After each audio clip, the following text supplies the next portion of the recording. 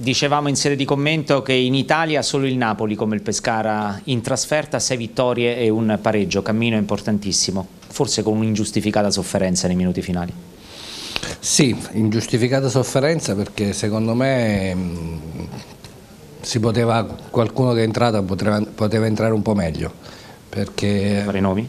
No, non faccio i nomi, però secondo me siamo tutti importanti in questa squadra, se si vuole arrivare a qualche traguardo bisogna capire che quelli che giocano e quelli che non giocano devono essere ugualmente importanti e quando giocano devono dare il massimo, perché se no così non andiamo da nessuna parte, perché non si può rischiare di lasciare due punti qui dopo aver condotto la partita in grande tranquillità senza correre nessun rischio soprattutto nel primo tempo però il Pescara non è stato il solito, il solito, Pescara, Vergani poteva raddoppiare però la Turris fraseggiava molto bene. La Turris ha giocato una buona partita, là davanti è una squadra molto forte, lo sapevamo, sapevamo che mancava anche mi sembra se non vado errato Sant'Agnello che si è fatto nel riscaldamento. nel riscaldamento. sono giocatori veloci, rapidi, tecnicamente molto bravi per cui noi lo sapevamo che eh, c'era da soffrire però secondo me la squadra per 60-70 minuti ha saputo soffrire e colpire nel momento giusto, quindi non abbiamo rischiato assolutamente nulla. Cosa ha fatto Plizzari nel riscaldamento? No, non ha fatto nulla nel riscaldamento, purtroppo Plizzari ha, fatto, ha avuto un problema nell'albergo perché ha battuto un piede se non vedo errato sul, sul legno. L'ho visto, ha provato. Nel... Ha provato perché voleva giocare, però mh, mm, probabilmente non, c'aveva il piede un po' gonfio, non ce l'ha fatto. Niente di grave? No, assolutamente no.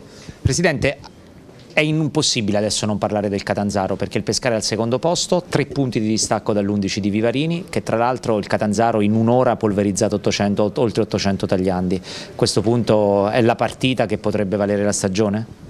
No, no, la stagione è ancora lunghissima, c'è tutto, c'è, c'è ancora, ci sono ancora sei partite, cinque partite del girone andata più quella dell'Avellino, la prima di ritorno e poi c'è il, tutto il girone di ritorno, quindi non è sicuramente la partita del campionato, è una partita importante sicuramente, la giochiamo in casa, quindi la, sicuramente faremo il nostro meglio, però non, non è sicuramente la partita del campionato. Vuole mandare un appello al pubblico di Fede Biancazzurra? Ma io credo che domenica come mai ci serve l'apporto del pubblico, anche stasera è stato numeroso qui, nonostante una giornata feriale sono venuti in tanti e credo che domenica non faranno mancare il loro apporto alla squadra perché ne ha veramente bisogno. Le chiedo un'ultima cosa Presidente, in settimana sono uscite le parole del tecnico Zeman su quello che è stato il presunto motivo dell'esonero del 2018, lei sapeva delle condizioni del figlio e l'ha esonerato lo stesso? Eh, ha scritto le mie bugie Zeman, probabilmente, perché Zeman sa benissimo per il motivo per il quale è stato esonerato. Eh, in quel giorno basta andarla a rivedere, c'erano le votazioni, lui non è voluto tornare e si è portato dietro tutto lo staff perché eh, argomentando sul fatto che doveva andare a votare. Io avevo convocato una riunione l'indomani e poi partivano per votare, visto che stanno a Roma e ci mettevano due ore a tornare a casa, li avrei fatti anche accompagnare. Mi dispiace perché ha detto una grossa fesseria e lui sa benissimo che io ad inizio campionato, quando il figlio si è ammalato, gli ho, detto, gli ho dato la massima disponibilità a fare tutto quello che voleva, per cui ha scritto una grande fesseria, una grande bugia, ma d'altronde Zeman purtroppo è così, vinco io, perdete voi. Una domanda da studio per il Presidente Sebastiani? Sì, Fabio Ferraresi. No, Presidente, io credo che all'inizio dell'anno arrivare allo sconto diretto a meno 3 nessuno se lo poteva aspettare, quindi eh, penso che tu sia contento del cammino di questo nuovo gruppo, di questo mister, di questa squadra e speriamo che domenica, come hai detto bene, il pubblico si faccia sentire perché potrebbe essere un uomo in più per questa partita.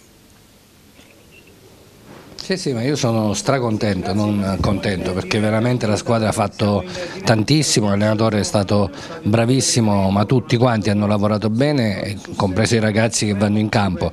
Però è chiaro che domenica c'è una partita importante nessuno si aspettava nemmeno di questo cammino del Catanzaro così prepotente perché poi alla fine loro eh, stanno andando veramente molto molto forte. Eh, noi stiamo tenendo, tenendo testa ma il campionato non, non, si chiude sicuramente domenica quindi dobbiamo pensare a fare bene poi c'è tutto il girone di ritorno per cercare nel caso di recuperare. Eh, c'è anche il mercato di gennaio se, se serve per correggere qualcosa. Messic arriverà? Fatta?